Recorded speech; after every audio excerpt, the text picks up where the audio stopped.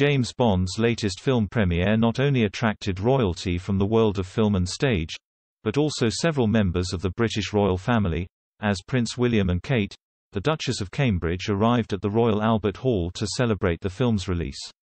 Panelists on Jeremy Vine praised the Duchess of Cambridge for her spectacular outfit, which overshadowed the glamorous appearances of several Hollywood A-listers. Speaking on The Jeremy Vine Show, Storm Huntley praised Kate for looking spectacular whilst Vine himself complimented the Duchess on her Bond-style outfit.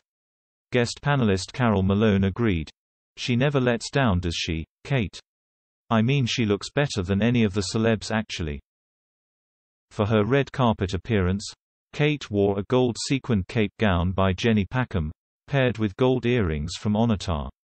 Prince William meanwhile, wore a suave velvet jacket with satin lapels and black cashmere slippers by Arthur Sleep.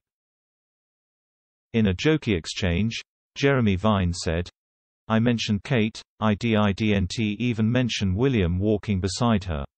With Kate's glamorous get-up, Carole Malone quipped you don't see him basically, with Storm Huntley noting, he wasn't quite as sparkly.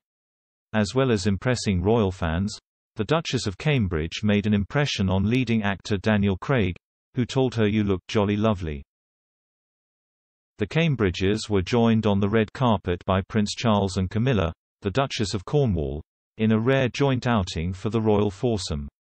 Camilla joined Kate with a glamorous dress, opting for a pastel blue and silver sequin dress by Bruce Oldfield, accompanied by the Princess Marie Louise's diamond sunburst brooch.